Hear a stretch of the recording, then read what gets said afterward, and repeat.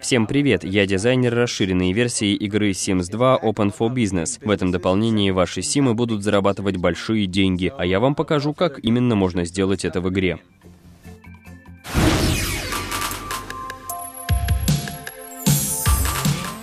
Вот он, мой бизнес. Я открыл магазин игрушек, и то, что вы видите на экране, второй день игры. Панель управления бизнесом находится в правом верхнем углу экрана. В ней содержится вся важная информация о моем бизнесе. Для этого переместимся вот сюда, в нашу мастерскую. Именно здесь изготавливаются игрушки для моего магазина. Посмотрите в меню, здесь можно изготовить множество самых различных игрушек для детей и взрослых. Сейчас я могу сделать только игрушечного робота. Это из-за того, что мои таланты пока не особо развиты. Посмотрите, вот здесь на панели отображается отображающий мои таланты. У меня золотой значок по продажам и золотой значок по изготовлению игрушек. Сейчас я изготовлю клоуна в коробочке. Я подхожу вот к этому шкафу и достаю из него детали для игрушки. На самом деле я захожу на сайт www.sims2.com и загружаю новые детали для игрушек. В обмен я предлагаю свои детали. И это здорово, потому что мы можем меняться деталями с другими игроками по сети.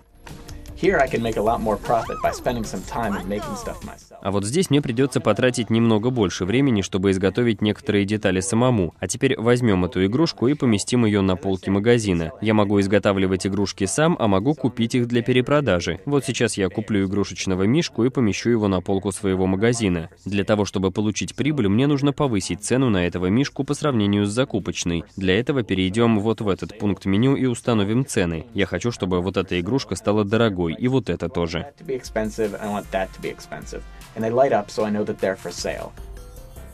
А теперь я открою магазин для покупателей. Я поменяю табличку с «закрыто» на «открыто». Эта табличка позволяет мне регулировать приток покупателей в магазин. После полного рабочего дня магазин нужно закрывать для уборки и пополнения запаса товара. А вот и мой первый покупатель, точнее покупательница, Робин. Она еще не знает, что именно хочет купить и пока что только смотрит. Это просто отлично. Кстати, обратите внимание, над ее головой виден уровень заинтересованности в покупке данного объекта. А вот это Энди, он продавец-новичок в отделе, в том самом отделе, куда забрела Робин. У Энди не получилось продать ей ничего, и уровень заинтересованности покупательницы упал. Спасибо, Энди. А теперь мы еще и оштрафованы за попытку флирта с покупательницей. Спасибо тебе огромное, Энди, за эффективную работу с нашей первой покупательницей.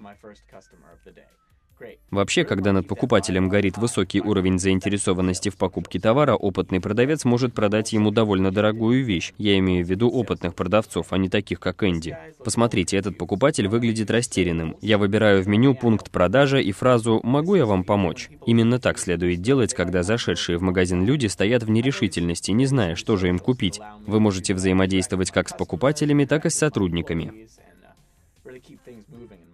Давайте попробуем убедить покупательницу по имени Барбара. Давайте используем головокружительную лесть, действие на покупателя самого высокого уровня. Только работники самого высокого уровня умеют это делать. Запудрим ей мозги, и покупка уже у нее в кармане, а у нас прибавилось постоянных покупателей. Так называемая покупательская приверженность – это верность клиента вашему магазину. Именно на ней и основывается ваш бизнес. Как вы можете видеть, вот в этом окошке на панели управления вашим бизнесом указано количество моих постоянных покупателей, а также рейтинг моего предприятия среди покупателей. Вот здесь вы даже можете видеть, кому из покупателей понравилось в моем магазине, а кому нет. So I'm going to open the business perks. Бонусы бизнеса — это небольшие приятные бонусы, которые я получаю при повышении рейтинга моего бизнеса. Я могу выбрать, что именно я получу в качестве бонуса. Хотелось бы получить рывок вперед, но, к сожалению, пока этот бонус мне недоступен. Я выбираю мотивационную речь, благодаря которой все мои работники будут в нужном месте в нужное время. Итак, Энди, тебя ждет целый мир. Мы вдохновляем его на эффективную работу. Thank you, Andy. Another great move by Andy. А теперь я изменю цены в своем магазине. Это очень хороший способ привлечь больше покупателей в магазин, ведь именно на цену в первую очередь смотрит покупатель, решая, купит ли он этот товар или нет. Я могу видеть цены своих конкурентов и, думаю, смогу переманить их покупателей, снизив цены в своем магазине. А теперь давайте посмотрим, готовы ли покупатели вложить немного наличности в развитие моего бизнеса. Посмотрите, уровень заинтересованности в покупке у них над головой немного повысился. Давайте немного надавим на покупательницу, чтобы она приняла решение. Для Для этого нам, наверное, придется пожертвовать приверженностью этой клиентки к нашему магазину, ради того, чтобы покупка все же свершилась. Магазину нужна наличность, чтобы продолжить работу. Вот продавец подходит к покупательнице и начинает на нее давить. Вы же хотите это купить? Ну что же вы, давайте, решайтесь. Вот, покупка состоялась. А вот и Энди. Энди, что ты делаешь? Ты же должен заниматься совершенно другим. Энди, иди сделай что-нибудь полезное для разнообразия. Энди, что ты делаешь? Тебе не следует давить на покупателей. Ты же недостаточно хорошо умеешь это делать.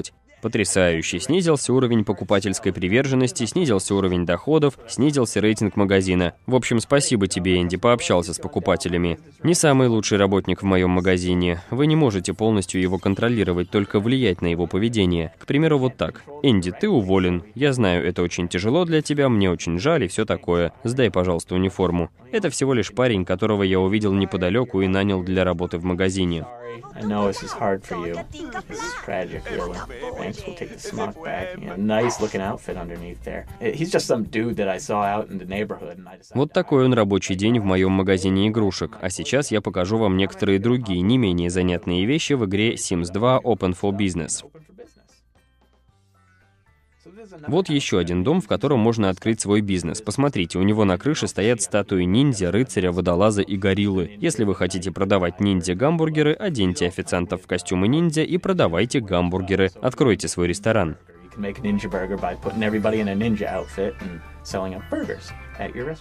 А вот вы видите лифт. С его помощью симы перемещаются с этажа на этаж, ну и многие другие вещи тоже.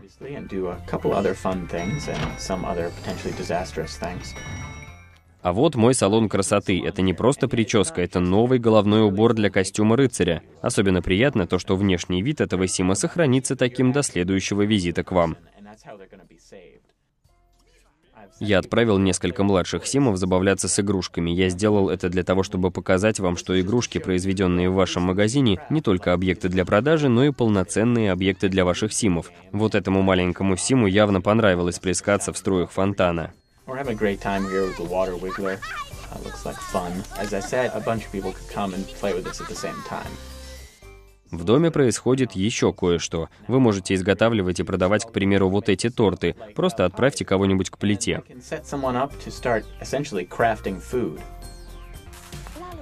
Думаю, на этом все. Вы смотрели ролик по дизайнерскому прохождению игры Sims 2 Open for Business.